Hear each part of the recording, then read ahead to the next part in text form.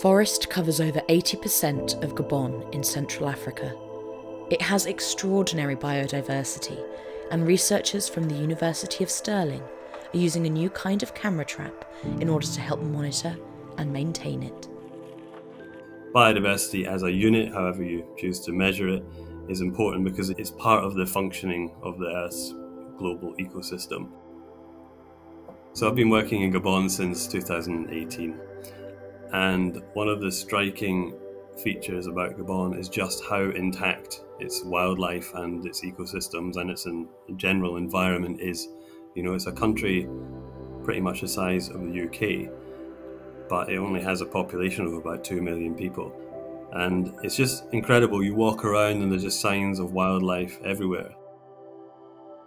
These cameras that we use are called camera traps, and you, you essentially you strap them to a tree.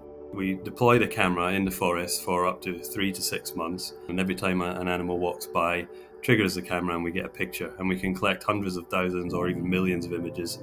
You know, the only way to extract meaningful information from that data is to either look at all of the images and say, okay, this image has got an elephant, this image has got a leopard, but that's extremely slow. So we have AI tools that we've been developing that actually can analyze those images and detect the species in the images automatically.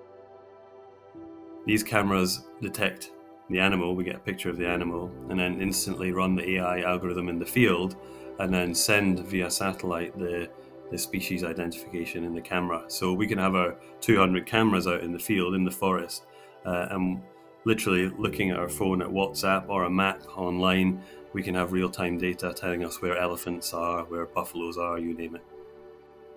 You know, the traditional model in ecology is that you deploy cameras or you deploy a sensor, you collect the data, you gather it back after some months, you analyze it over a period of six months, and then at the end of all that, you come up with a report and you say this is where your animals were. But by the time you do that report, you could be a year, two years, five years out of date. Gabon is home to the critically endangered forest elephant. So, another potential use of these camera traps is to use them to detect poachers. We've been working with Hack the Planet in Netherlands to develop a system that can give real-time data, for example, when it detects a human with a gun. And that data could be used by the National Parks Agency in Gabon to inform their anti-poaching activities.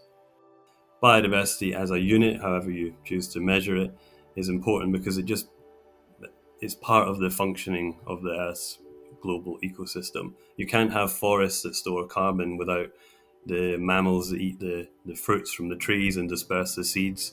You know, that's just one simple example. But all of those complex interactions are fascinating to understand and absolutely crucial for life on Earth as a whole.